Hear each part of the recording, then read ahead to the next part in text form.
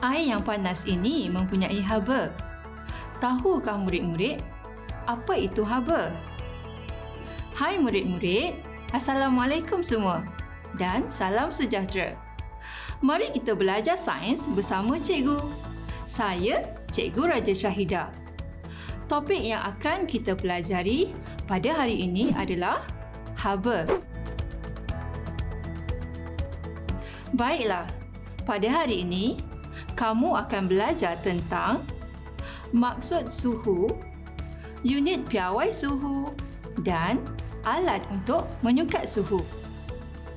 Seterusnya, kamu akan mengetahui tentang proses menerima haba dan kehilangan haba.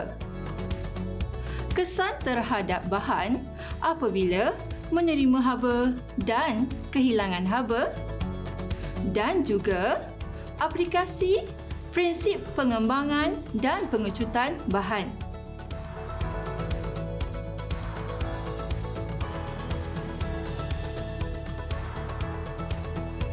Kali ini, cikgu membawa dua biji bikar. Bikar pertama cikgu isikan dengan air panas dan bikar kedua cikgu isikan dengan ais. Bikar yang manakah mempunyai haba yang lebih banyak? Ya, bikar yang berisi air panas ini mempunyai haba yang lebih banyak berbanding bikar yang berisi ais. Tapi, bagaimana kita boleh menentukan berapa panas atau sejuk sesuatu bahan itu? Begini ya murid-murid, haba boleh diukur melalui suhu bahan tersebut. Suhu pula ialah ukuran darjah kepanasan sesuatu bahan. Suhu diukur dalam unit darjah Celsius ataupun Fahrenheit.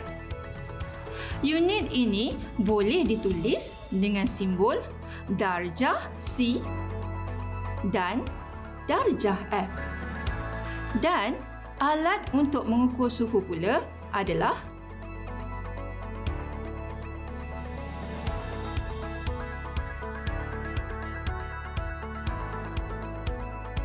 termometer. Apabila menyukat bahan yang panas, jalur perak akan mengembang dan bacaan termometer akan meningkat. Sebaliknya, apabila menyukat bahan yang sejuk, jalur perak akan mengecut dan bacaan termometer akan menurun. Mari kita kenali dengan lebih terperinci dengan termometer. Terdapat pelbagai jenis termometer mengikut kegunaannya. Antara contoh termometer adalah termometer makmal, termometer klinik mahupun termometer digital. Termometer yang cikgu tunjukkan ini merupakan termometer yang sering digunakan di makmal sains. Ia diperbuat daripada kaca dan mempunyai tiub yang halus di bahagian tengah yang mengandungi merkuri atau alkohol. Untuk pengetahuan kamu, merkuri adalah logam dalam bentuk cecair.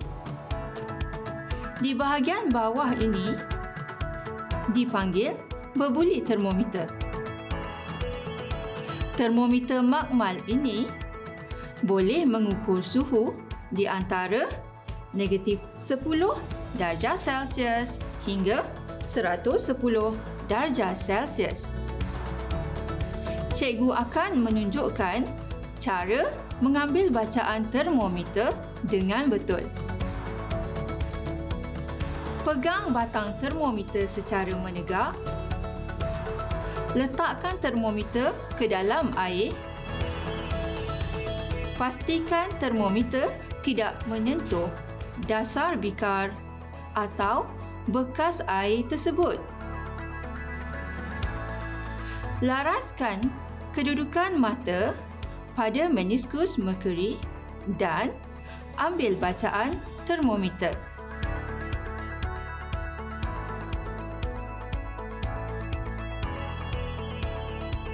Terdapat beberapa peringatan yang kamu perlu ambil perhatian semasa menggunakan termometer.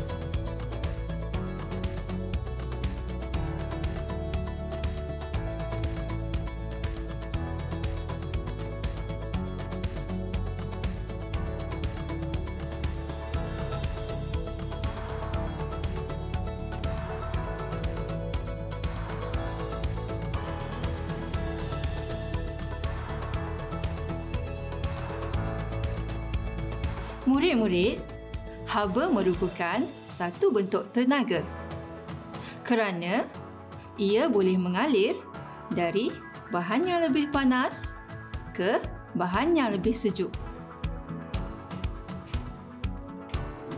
Sudu yang cikgu rendamkan ke dalam air panas ini akan berasa panas selepas beberapa minit. Ini kerana sudu tersebut menerima haba daripada air panas. Sudu ini kemudiannya cikgu rendamkan ke dalam ais.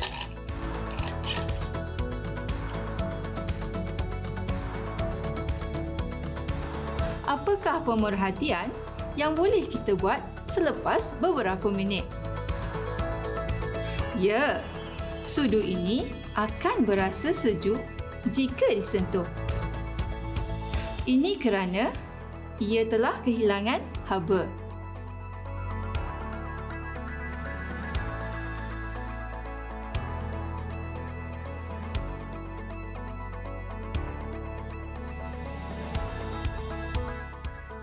Seterusnya, kita akan lihat apakah kesan haba terhadap sesuatu bahan. Mari kita tonton video berikut.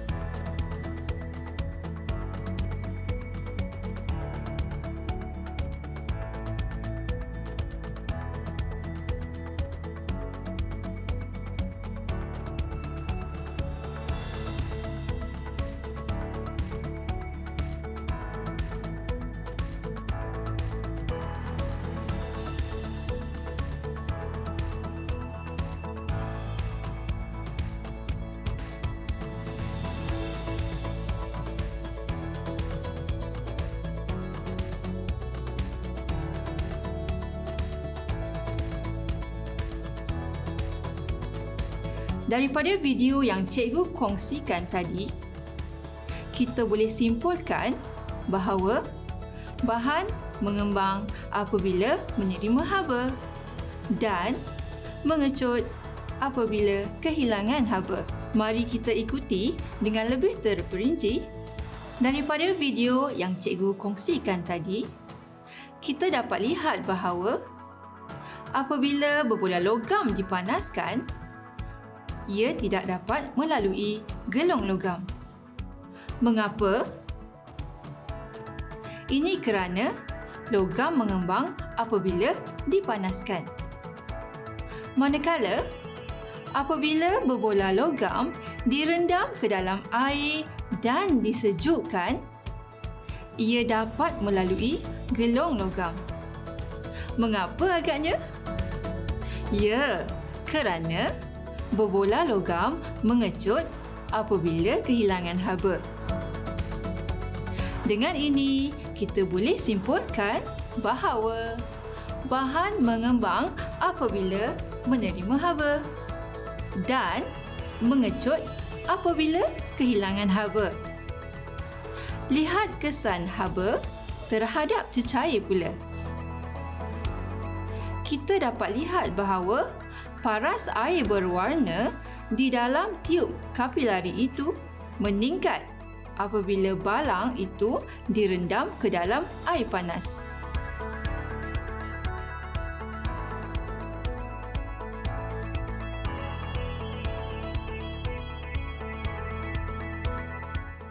Manakala paras air berwarna menurun apabila balang itu direndam ke dalam air sejuk.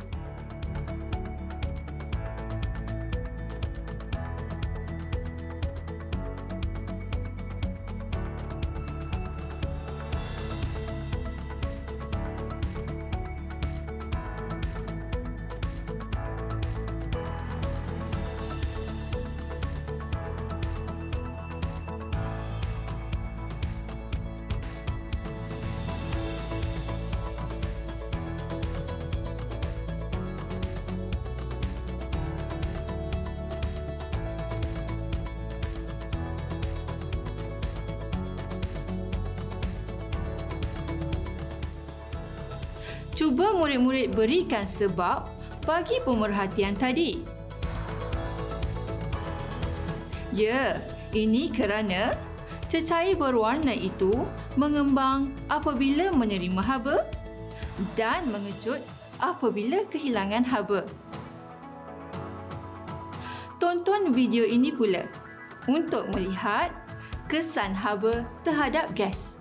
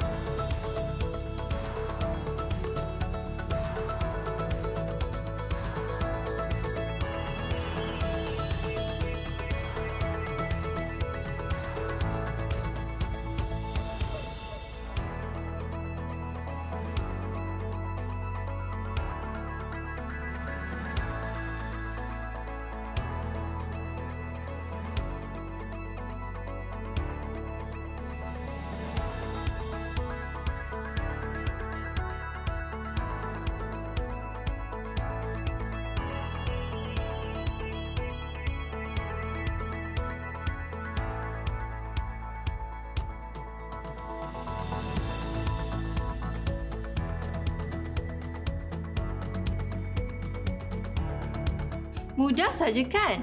Syabas! Kini, kamu telah belajar tentang prinsip pengembangan dan pengecutan. Sekarang, mari kita lihat keadaan bola pingpong ini. Kamu rasa adakah ia masih boleh digunakan? Cikgu akan kongsikan satu cara untuk membetulkan bentuk bola pingpong ini.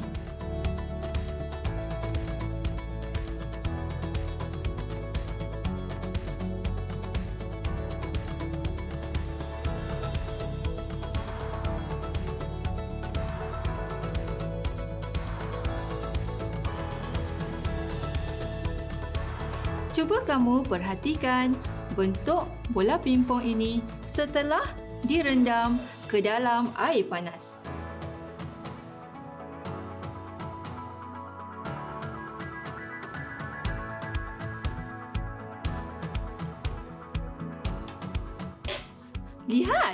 Bentuknya kembali kepada bentuk asal. Cikgu percaya ramai dalam kalangan kamu boleh memberi sebab tentang keadaan ini. Mengapa belon yang tadinya kemek boleh kembali ke bentuk asal? Ya, Ini kerana udara dalam bola ini mengembang dan membentukkan semula bola ini. Mari kita lihat apakah aplikasi prinsip pengembangan dan pengecutan yang digunakan di sekitar kita. Seterusnya, lihat botol sos ini. Cikgu sukar membuka penutupnya. Mari cikgu tunjukkan satu cara untuk membuka penutupnya dengan mudah. Okey, kita rendamkan sahaja penutup botol sos ini ke dalam air panas.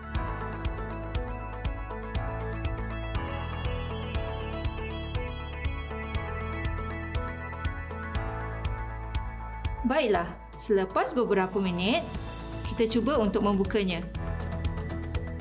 Lihat, cikgu telah berjaya.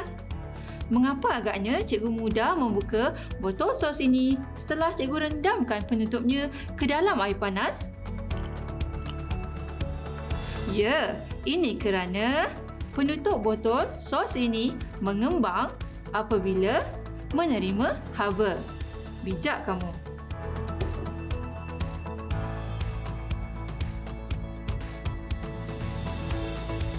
Pada landasan kereta api ini, terdapat ruang yang dibuat antara setiap besi landasan tersebut.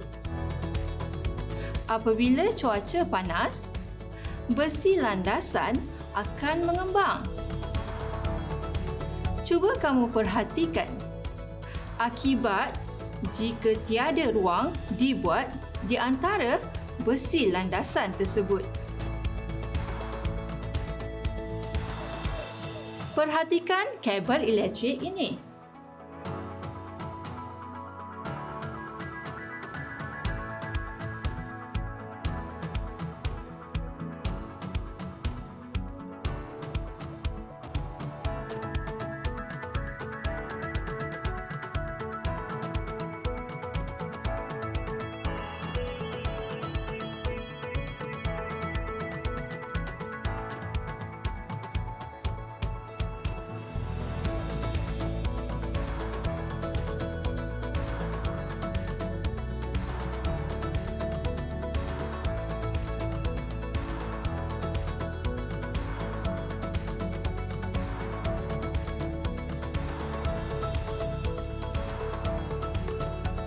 Ketika waktu siang, ia kelihatan melendut. Mengapa? Ini kerana kabel elektrik ini mengembang apabila menerima haba pada waktu siang. Pada waktu malam pula ataupun ketika hujan, kabel tersebut akan menegang kerana ia mengecut apabila kehilangan haba. Lihat konkrit ini. Ia sebenarnya tidak disusun rapat. Bolehkah kamu berikan sebab mengapa ia tidak disusun rapat? Ya, untuk mengelakkan konkrit tersebut daripada retak apabila mengembang pada waktu panas. Cuba kamu kaitkan prinsip pengembangan dan pengecutan bahan ini kepada termometer. Apabila termometer direndam ke dalam air panas, paras merkuri akan meningkat. Mengapa? Ya, ini kerana merkuri mengembang apabila menerima haba. Apabila termometer direndam ke dalam air yang sejuk, paras merkuri akan menurun.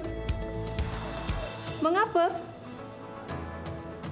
Tepat sekali kerana merkuri mengecut apabila kehilangan haba. Memang mudah kan? Sekarang masa untuk kuis. Dengar soalan dengan teliti. fikir dan cuba jawab soalan-soalan kuis daripada cikgu. Soalan pertama. Apabila cikgu memanaskan air dalam cerek ini,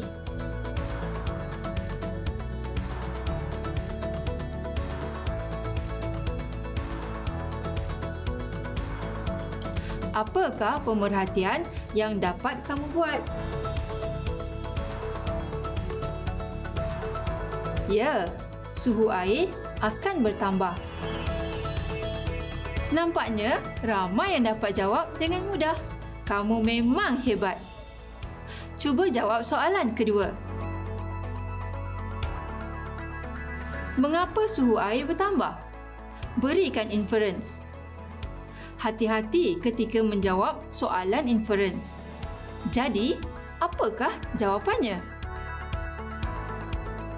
Ya, kerana air menerima haba. Tahniah kepada murid yang dapat menjawab dengan tepat. Jangan putus asa.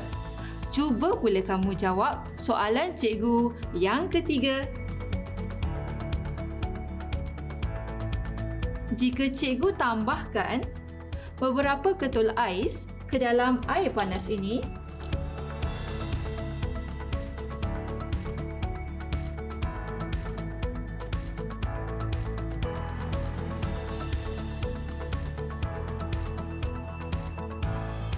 apakah yang berlaku kepada haba dan suhu air tersebut.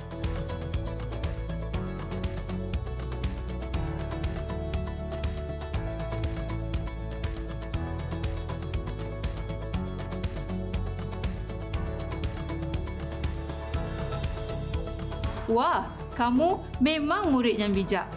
Tentu jawapan kamu, suhu air akan berkurang akibat kehilangan haba. Tahniah semua.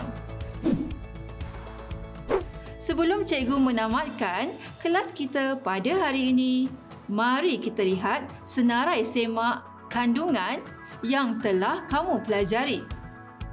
Yang pertama, haba diukur melalui suhu. Suhu adalah darjah kepanasan sesuatu objek. Suhu diukur menggunakan termometer. Apabila bahan menerima haba, suhu akan meningkat. Apabila bahan kehilangan haba, suhu akan menurun. Objek pepejal, gas dan cecair akan mengembang apabila menerima haba manakala objek pepejal, cecair dan gas akan mengecut apabila kehilangan haba.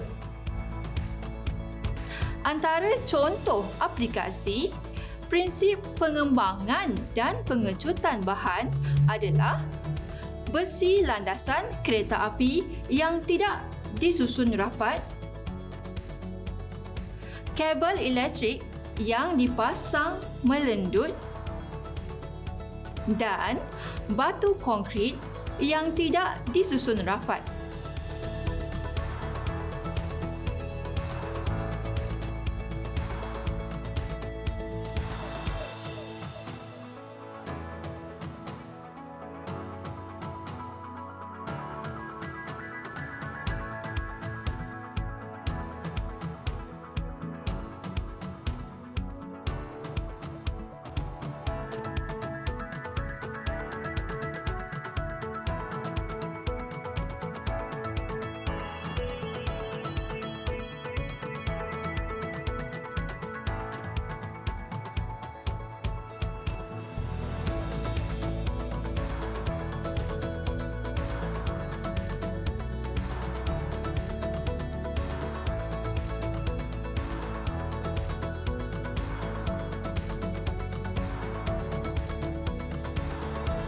Sekian sahaja sesi pembelajaran kita pada hari ini.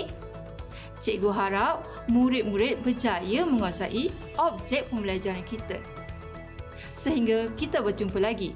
Selamat maju jaya!